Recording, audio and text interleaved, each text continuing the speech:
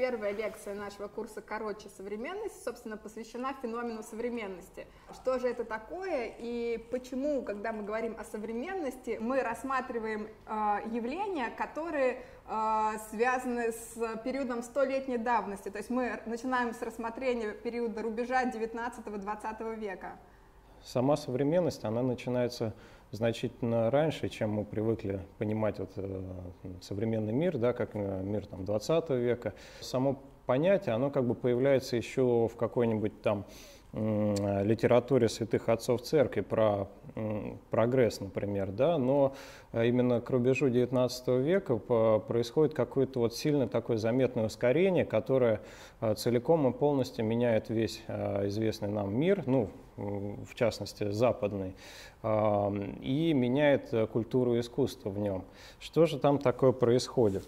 То есть, получается, люди начинают осознавать некий э, разрыв между своей действительностью, актуальной им реальностью и вот той большой некой историей, которая была до этого. То есть, получается, э, появляется некое ощущение изменившегося мира, э, собственно, ощущение современности. То есть что-то изменилось. И вот что именно, в чем выражается это изменение окружающего мира?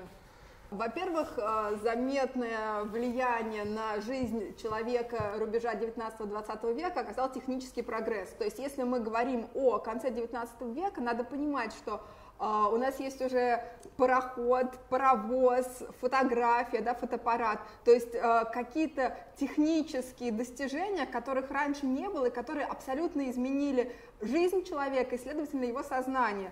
А постепенно на второй план уходит там, ручной труд, да, то есть как-то жизнь механизируется, а, включая производство. Поскольку производство, в принципе, одно из ключевых а, вещей в жизни человека, то, естественно, это так или иначе меняет все вокруг, и искусство отражает эти изменения и также влияет на изменения в жизни.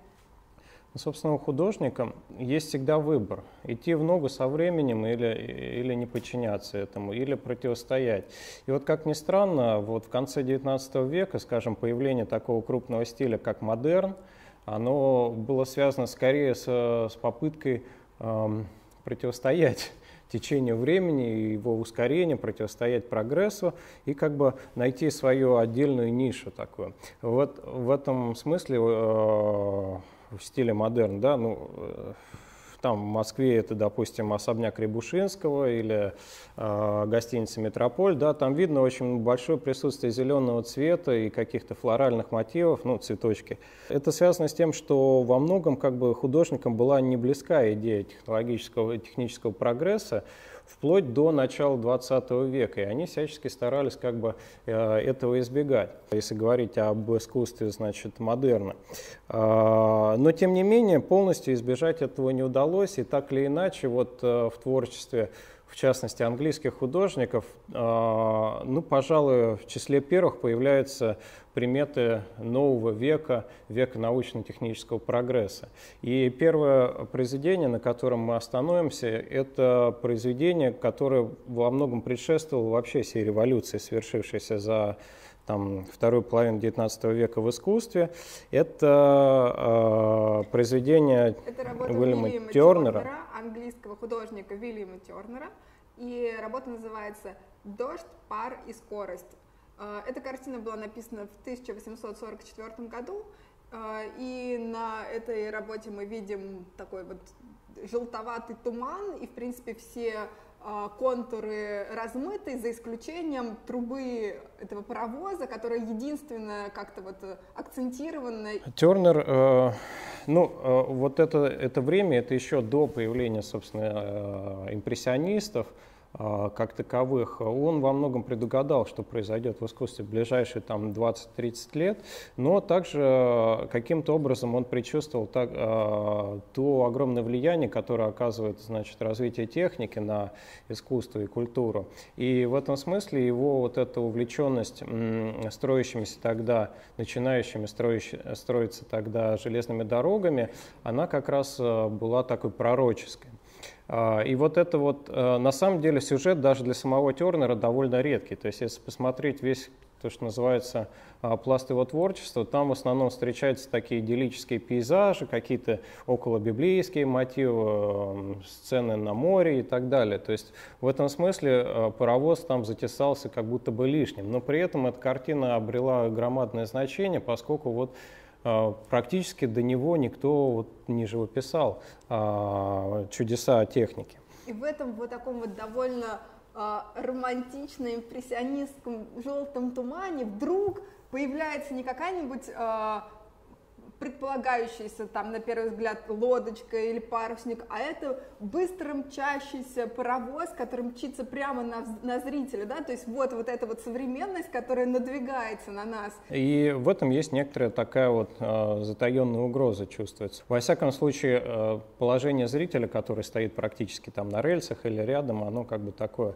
довольно уязвимое. И во многом, э, повторюсь, повторимся еще раз, что художники с опаской посматривали на вот достижения прогресса, и, в общем-то, до, э, до сих пор нет какого-то полного а, точного понимания, что же несет этот прогресс для человечества.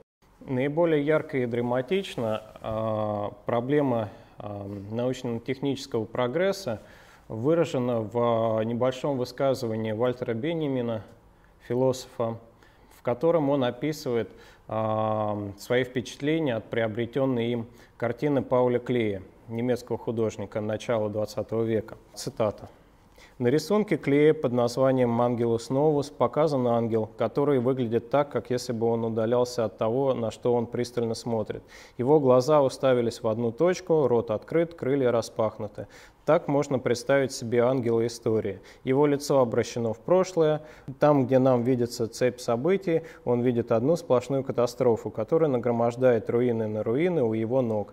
Ангел хотел бы остановиться, оживить погибших, восстановить разрушенное. Но ураганный ветер, дующий из рая, увлекает его с такой силой, что он не может сложить крыльев. Ветер неудержимо несет его в будущее, а куча обломков перед ним растет до небес. Этот ветер – то, что мы называем прогрессом. Таким образом, прогресс, он не всегда проходит безболезненно для человечества, для художников, философов, и те так или иначе реагируют на него. Мы уже привели в пример одно из э, реакционных течений в искусстве, это модерн, да, а, это стиль, который появился в конце 19 века и который, ну. э, наоборот, обращается к природе, использует какие-то э, растительные мотивы, активно использует орнамент, да, то есть все равно таким идеалом и эталоном совершенства остается природа, мир флоры, фауны. В дальнейшем это перерабатывается художниками, дизайнерами, а, есть то, что называется традиционализм, это попытка уйти а, к традициям, а, ну, отчасти их переосмыслить в области поиска каких-то архетипических вещей там, но об архетипах Юнга мы поговорим, наверное, позже на следующей лекции. Вот, это в некотором роде такой традиционализм. А есть, есть постмодерн, о котором мы тоже будем говорить. Это такое конец истории, конец современности, который случился не так давно. И э, там уже как бы вот опять же линейность времени, которая ассоциируется с модерном, она не такая очевидная. И само понятие прогресса тоже ставится под сомнение. Вот. Но вернемся, значит, к модернизму, поскольку это основное, так сказать, а, направление мысли, которое которое объединяет разные там течения в искусстве, в философии начала XX века. А, Собственно, сегодня наша лекция выстраивается вокруг понятия модернизма. Да? То есть что такое модернизм? Ну, понятно, что этимологически модернус от слова современный, а, и если мы говорим о том, что такое модернизм в искусстве, то надо понимать, что это не какое-то одно конкретное направление, явление или течение. Это совокупность довольно большого количества новых явлений в искусстве, которые появились на рубеже 19-20 века. А, то есть а, это абсолютно разные направления, которые могут быть противоречивы по отношению друг к другу, да, то есть пропагандировать и манифестировать абсолютно разные ценности, а, разную систему взглядов и убеждений. И тем не менее у них есть что-то общее. И, собственно, что общее, это, во-первых, неприятие предшествующей истории искусств, то есть а, борьба с традиционными ценностями, а, свержение всего старого, то есть во имя построения вот чего-то нового, да, и утверждения новых ценностей, а, это обязательно такой довольно радикальный и агрессивный отказ от старого. Когда мы будем говорить о постмодернизме, там как раз вот появится другая черта. Это наоборот такая терпимость ко всему, и к новому, и к старому. Вот. А модернизм в этом плане довольно агрессивный.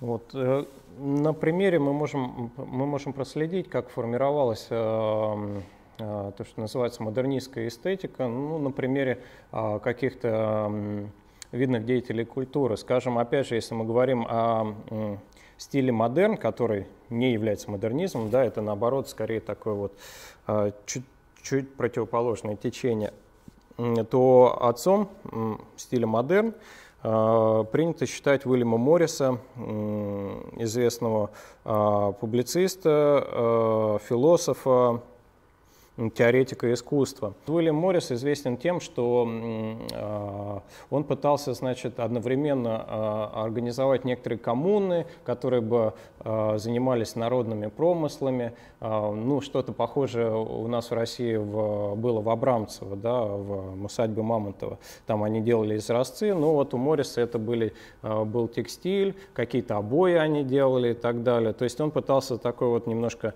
внести социалистический момент момент в, в а, а, художественную деятельность.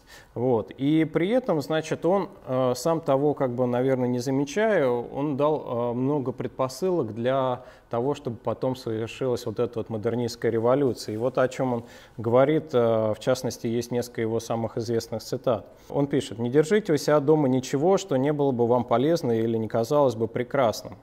Да, то есть э, мы уже сводим э, всю продукцию значит, всей художественной деятельности к двум вещам – полезное или прекрасное. Больше никак. И При этом здесь уже есть какой-то парадокс, потому что не держите того, что э, не полезно и не прекрасно, да, но это ведь тоже не обязательно одно и то же. То есть полезное может быть не прекрасным, а прекрасное не полезным.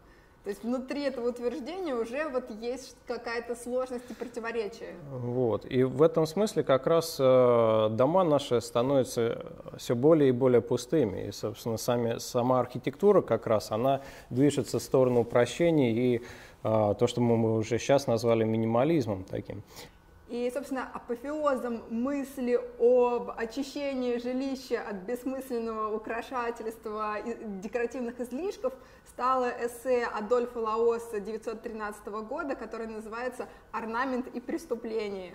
При этом Адольф Лаос, в принципе, как, как и тот же Уильям Моррис, да, он не причислял себя к таким радикальным модернистам, ничего не старался отрицать, а наоборот, вот у него есть известное тоже его выраж... изречение о том, что изменения в традиционной архитектуре допустимы только в случае, если это что-то улучшит реально. То есть, опять же, для него идеалом была традиционная архитектура, которую, в общем-то, можно было и не менять веками, потому что за ней правда, как считал Лаос. Дальше уже отсюда один один шаг до известной а, концепции домостроительства Ле Корбюзье. В 1915 году он придумал такую своеобразную ячейку, а, которую он назвал «Дом Ина», «Домино», которая может использоваться при постройке современных домов. Фактически это то, что мы с вами все хорошо знаем. Это такое э, монолитное сооружение из колонн и э, лежащих на них плоскостей. Можно их ставить одну на другую, можно рядом, и из этого э, получается такой целый многоэтажный город. Вот. И этому изобретению или этой концепции Ле Корбюзье уже сто лет – то есть сто лет фактически мы живем с модернизмом в архитектуре. И он окружает нас повсеместно. Посмотрите на серые блочные дома, которые наверняка находятся в вашем районе и в довольно большом количестве.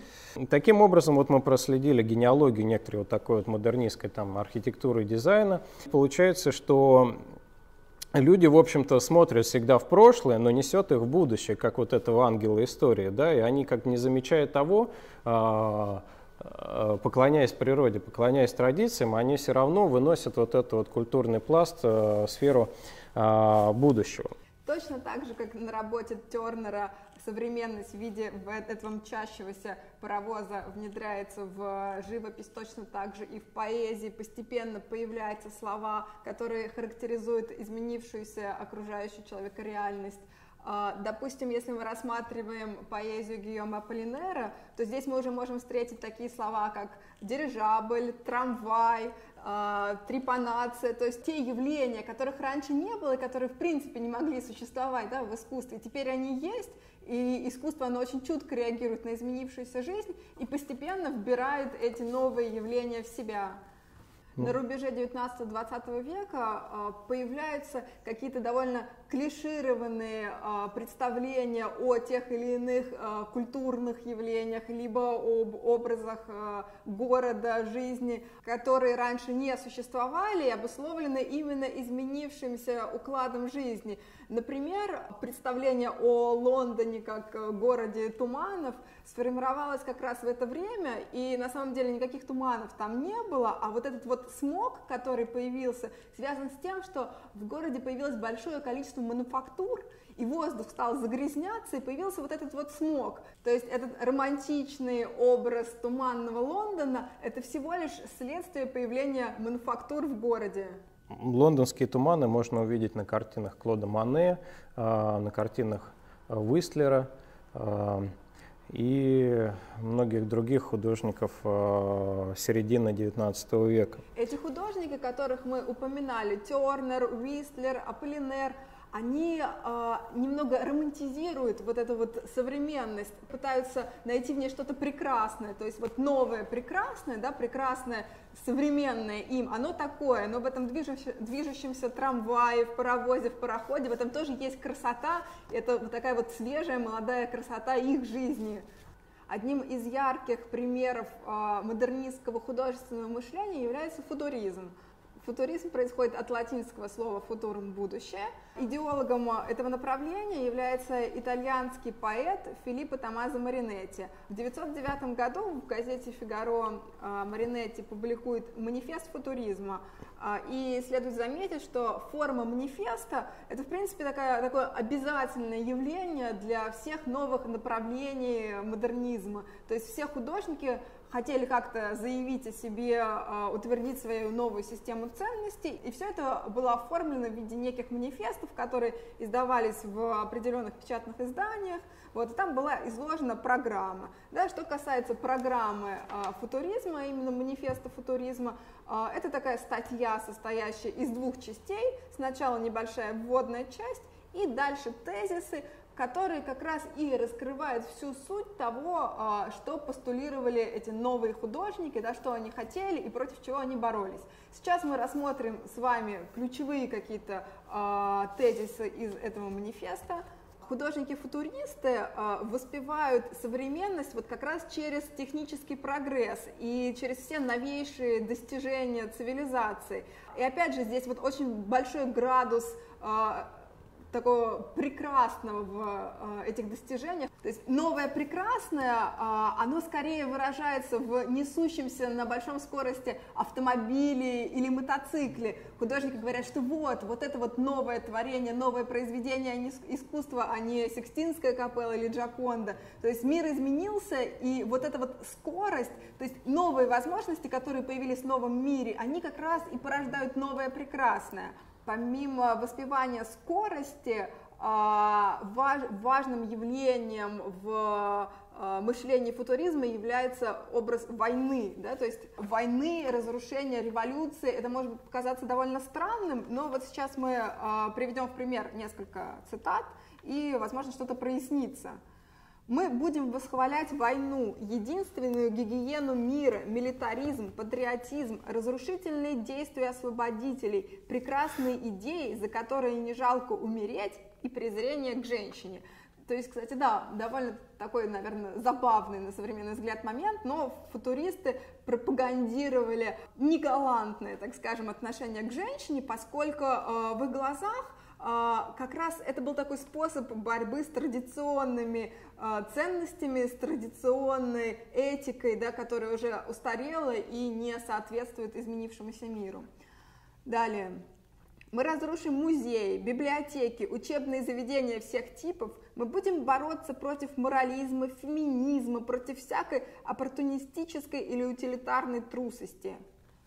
До сих пор литература восхваляла задумчивую неподвижность, экстаз и сон. Мы намерены воспеть агрессивное действие, лихорадочную бессонницу, бег гонщика, смертельный прыжок, удар кулаком и пощечину. Мы хотим воспеть человека у руля машины, который метает копье своего духа над землей по ее орбите. Мы утверждаем, что великолепие мира обогатилось новой красотой, красотой скорости. Гоночная машина, капот которой, как огнедышащие змеи, украшают большие трубы. Ревущая машина, мотор которой работает, как на крупной картече. Она прекраснее, чем статуя Ники Самофракийской. То есть здесь мы видим, да, вот это вот э, восхищение скоростью, восхищение э, какими-то активными действиями, да, то есть та же война, революция, которая здесь упомянута, это всего лишь такая концентрированная метафора активности. Человек должен занимать активную позицию в новом активном мире, а не пассивно следовать и принимать э, свою долю, жизнь, судьбу. Ну и, собственно, если коснуться непосредственно искусства, да, то есть одно дело вот эти вот а, постулаты, которые мы только что а, рассмотрели в манифесте футуризма, но как это все отражалось в их искусстве? То есть это же все-таки художественное направление, да, это не просто там социальный активизм. А, и одним из самых ярких художников э, футуристов был Джакомо Балла. И на примере нескольких работ Джакомо Балла мы сейчас э, рассмотрим, как эти все постулаты отражались, собственно, в живописи. Потому что одно дело мы говорим о несущемся автомобиле, о скорости, о войне, но когда художник работает с довольно консервативным медиумом, да, с плоскостью, с картиной, как это все отразить и э, как, как это представляли себе художники? На картине Джакомо Балла «Динамизм собаки на поводке», которую он написал в 1912 году, мы видим, в общем-то, собаку на поводке, да, но при этом не просто собаку, а весь как бы спектр ее движений, которые она совершает а, ну, на утренней прогулке. И здесь как раз сказывается влияние а, фотографии очень сильное на живопись. Дело в том, что а, буквально ну, около там, 20 лет назад, до появления этой картины, а, фото, фотографы, в частности Майбридж был такой а, человек, занимавшийся фотографией, смог как бы получить раскадровку различных событий а, и выявить фазы движения, которые были незаметны для человеческого глаза. То есть только фото, фотоаппарат, фотография позволили как бы узнать какую-то правду о природе. И вот это вот как раз было совершенно потрясающе, потому что это как раз и легло в основу представления о том, что техника и научно-технический прогресс, они могут рассказать как бы чуть больше, чем способен сам человек понять о природе.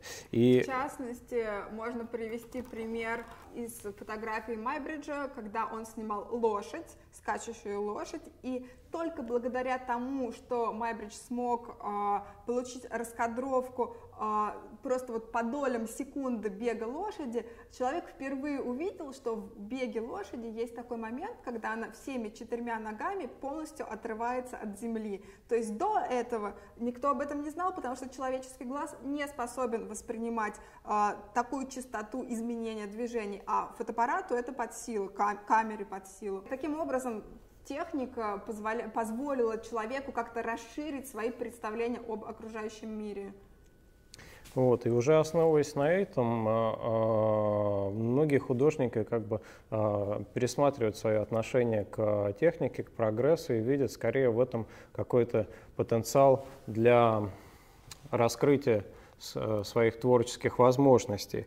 И вот это, возвращаясь к работе Джакомо Балло, э, там как раз видно, насколько тесно соприкасается вот этот фотографический метод получения раскадровки с, с творчеством художники, так сказать, на ура перенимают достижения своих коллег-фотографов и пытаются их применить в живописи. Еще одна знаковая работа Баллы называется линии и динамичные исследования полета ласточки. То есть тот же принцип, да, а, Собственно, что мы видим? Мы видим какой-то набор движений, то есть эти все линии, они довольно так четко артикулируют какое-то движение, но при этом, что это без названия, мы не можем идентифицировать, но тем не менее автор говорит нам, что это вот, собственно, траектория и динамика полета ласточки. То есть эти две работы, «Собака на поводке» и «Полет ласточки», а, здесь мы видим, что художник еще черпает а, вдохновение, имеет интерес к движению в окружающем его мире, да, то есть как двигаются животные, а, как двигается человек. А следующие работы, да, буквально которые появляются через год-два после этих, а, они показывают нам уже интерес художников в скорости в движении как таковом. То есть следующая работа называется «Абстрактная скорость», это 913 год. То есть здесь уже у нас нету а, конкретного узнаваемого предмета, явления человека или животное. Это скорость, которая прекрасна сама по себе. А, следующая работа «Абстрактная скорость и звук», да, то есть здесь уже появляется еще и звук. Вот две такие удивительные абстракции, которые прекрасны сами по себе. А, еще одна работа, наверное, достойная внимания, называется «Война». Это 916 год. Мы упоминали как раз, а, что художники-футуристы были очарованы образом войны, поскольку видели в ней возможность каких-то активных действий. И, собственно, если мы посмотрим на эту картину, это не совсем картина, частично коллаж, то здесь э, мы не можем опознать какие-то э, знакомые для нас да, э, образы войны, военных действий, сражений. Здесь опять нет ничего, по крайней мере, мы трудом можем догадываться, может быть, это какая-то фигура или что это такое. Но здесь есть вот некое движение чего-то похожего там на шестеренку, а, то есть несколько каких-то больших, довольно активных, сочных фрагментов, которые как-то, в общем, двигаются, крутятся. Единственное, в общем, что там а, мы видим, это вот некие нестатичные элементы. Футуризм оставил, конечно, неизгладимый след э, в э, современном искусстве и стал одним из направлений, которые прочно теперь ассоциируются с модернизмом, но другими он был как бы воспринят только лишь частично по причине своей по части воинственности, потому что э, представители других направлений, там, кубизма или дадаизма и позже сюрреализма, они, в общем, были открытыми пацифистами. В этом смысле они как бы старались себя не морать вот этой вот футуристической эстетикой, как бы никаких культурных связей а, с итальянцами практически не было. А, э, футуризм э, закончился тем, что перешел в некоторый такой вариант декоративного какого-то прикладного искусства. И, в общем-то, уже к 20-м сошел со сцены, уступив место более конструктивным, более позитивистским таким направлением, ну, из разряда конструктивизма того же, или, или того, что пропагандировала школа Баухаус из, из течений, которые были э, приблизительно в одно и то же время э, с, футурист, с футуризмом, важно выделить еще одно, о котором, конечно же, мы не можем не упомянуть, это кубизм. Хотя родоначальником кубизма считается, в общем-то, Пикассо, который первый там начал рисовать картины в этом стиле. Во многом его достижения и его находки в области кубизма они были подсмотрены у его старшего значит, товарища, у Сезана, который сформулировал а, а, многие принципы, которые легли позже в основу кубизма. В частности, Сезанн писал, «Все в природе лепится в форме шара, конуса и цилиндра. Если вы научитесь владеть этими формами, вы сделаете все, что захотите». Таким образом, если буквально понимать вот это вот э, пожелание и предложение Поля Сезанна, то тут один шаг до создания кубистической работы, собственно, который сделал Пикассо. А, и первой кубистической работой считается большое полотно «Авиньонские девицы», написанное в 1907 году. А, полотно изображает обнаженных женщин в разных ракурсах и во многом повторяет какие-то мотивы из а, более ранней работы Поля Сезана «Купальщицы». Что такое авиньонские девицы? Это обитатели борделя, э, трактира на улице Авиньон в Барселоне.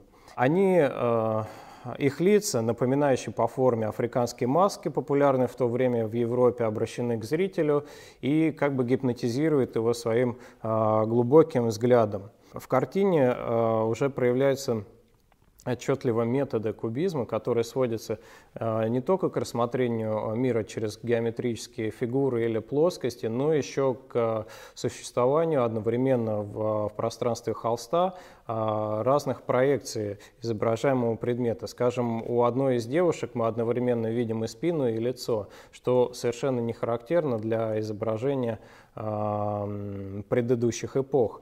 Ну, Это вот. и есть самая характерная черта кубизма, которая а, благодаря или по которой мы всегда можем определить а, принадлежность к этому направлению. По сути, именно кубизм дал развитие а, новой большой истории искусств, которая постепенно вывела изображение из плоскости в трехмерный мир. Все это началось с, собственно, пока еще плоскостных изображений на картине, да, то есть кубистическое изображение показывает э, предмет одновременно с нескольких сторон, но это все еще плоскость картины по-прежнему.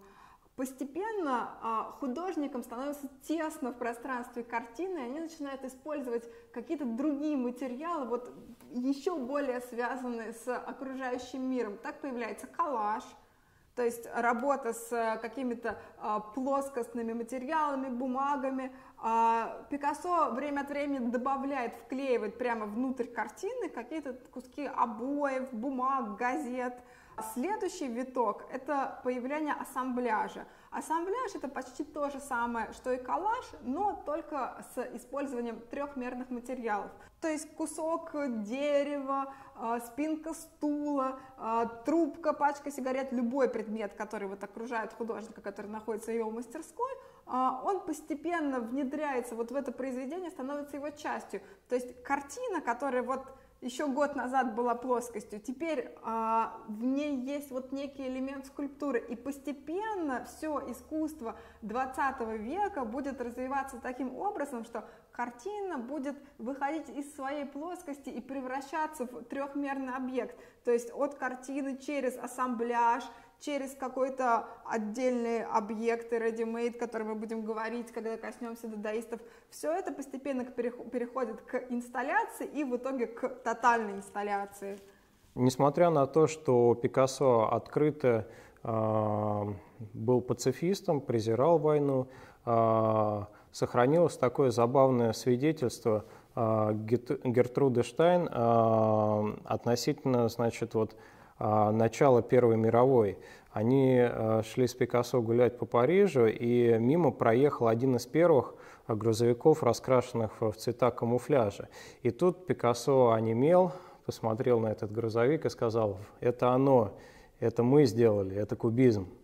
Вот. И э, таким образом э, Первая мировая, она, как ни странно, послужила к раскрытию э, каких-то возможностей, заложенных в кубизме, э, связанных с, э, с возможностью преломлять пространство, играться с ним э, и создавать различные вот такие вот э, мнимые поверхности внутри холста. То есть сейчас мы скажем несколько слов об э, утилитарной стороне кубизма и как действительно э, вот эти вот все новые наработки художников использовались на практике не где-нибудь, а на войне. А, то есть, а, если мы обращаемся к такому явлению, как камуфляж, который всем нам известный, вроде бы никогда никаких вопросов по этому поводу не возникало, на самом деле кто-то тоже ведь когда-то его придумал. Сейчас мы упомянем двух художников, которые повлияли на а, историю камуфляжа, и один из них даже запатентовал камуфляж. Собственно, первый художник — это Баранов Рассене. В принципе, для истории искусства он а, интересен лишь тем, что он очень часто менял свои стили, то есть все время вдохновлялся различными направлениями, течениями художниками, каждый раз подстраивался под них. И второй момент, которым он интересен, он запатентовал камуфляж. 1939 году а, художник получил патент на камуфляж, который назывался пуантилистический динамичный камуфляж. Собственно, это э, камуфляж хамелеон, который как бы такой пятнистый, подстраивает э, одежду человека да, или э, раскраску какой-то э, техники э, под окружающую среду. А второе явление, связанное с камуфляжем, которое вот в нашем случае даже более интересно, потому что оно напрямую э, наследует или использует достижения кубизма, это камуфляж, который называется ослепляющий камуфляж. Ну, то есть здесь не в том смысле, что он да, как-то ослепляет или мешает там, нашей функции зрения, а в том смысле, что он нас дезориентирует. А, это такой а, вид камуфляжа, который прежде всего использовался для раскраски боевых кораблей, и а, в чем суть? А, корабль раскрашивался таким образом, что непонятно было, какой он формы, куда он двигается, в каком направлении, потому что на его поверхность наносились крупные черно-белые полосы, которые преломлялись совершенно в самых неожиданных местах, и если ты видишь этот корабль на воде, ты даже не понимаешь, где у него какая часть, в какую сторону он плывет вообще, что это такое, куда бить. Этот камуфляж изобрел художник Норман Уилкинсон. До этого в основном он занимался изображением морских пейзажей, то есть он сам по себе кубистом не был, но именно а, искусство кубизма вдохновило его а, на создание вот такого вот способа рас, э, раскрашивать, маскировать корабли. А, естественно, этот камуфляж использовался только в Первой мировой войне, потому что потом появились э, всякие устройства, которые позволяли вычислить корабль, его местонахождение, расположение э, более точно, и там уже как бы визуально нельзя было ничего замаскировать. Тем не менее, в Первой мировой войне это было очень актуальное изобретение. Одним из главных результатов сотрудничества Пикассо с балетом Дягилева и русскими сезонами становится балет «Парад». Это такое знаковое произведение первой половины 20 века, потому что к созданию этого балета приложили руку просто невероятное количество величайших художников того времени. А, собственно, музыку написал Эрик Сати, хореографию поставил Леонид Мясин, Кокто вместе с Пикассо работали над костюмами. И а, вот здесь стоит обратить внимание на то, что мы говорим о балете, да, на тот момент уже а, появился танец модерна, как бы новые формы танцевального искусства, но что такого особенного было в параде? Все артисты а, танцевали в кубистических костюмах, то есть это были такие большие, а, по сути, картонные коробки, которые, естественно, очень сильно сковывали движение. И а, получается, в данном случае вот этот вот кубистический костюм, он создавал как бы новую хореографию.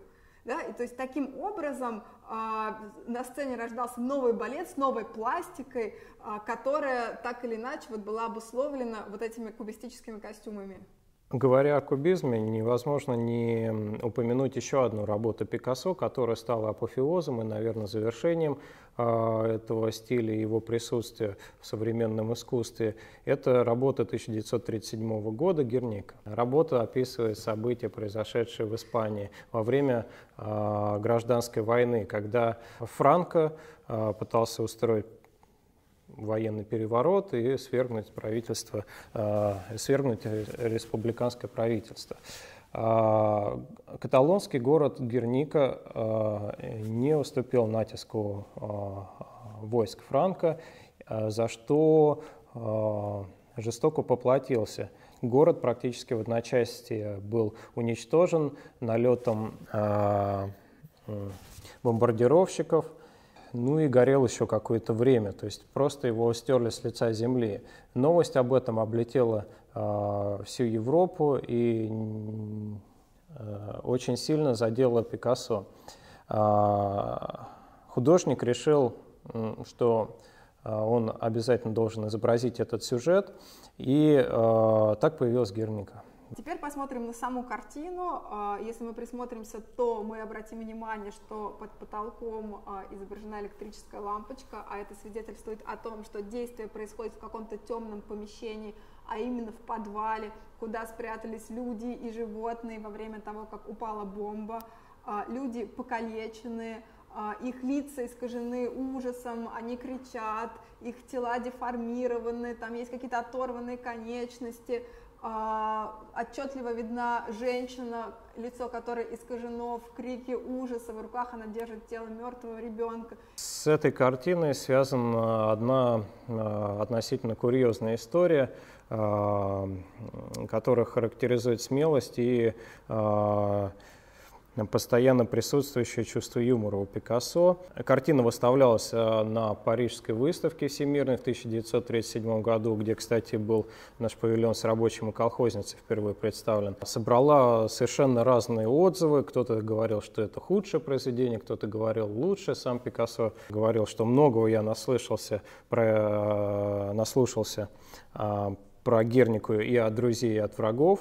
Вот. Но в целом как бы отзывы потом скорее были положительные. И вот в 1940 году, когда уже э, во многих странах в Европе значит, к власти пришли профашистские э, какие-то силы, э, Пикассо пришлось держать ответ. К нему постучались, пришли люди в форме и, спрос... и увидев на его столе открытку с Герникой с этой выставки, они спросили, это вы сделали? На что Пикассо ответил, нет, это вы сделали, хотите, возьмите на память.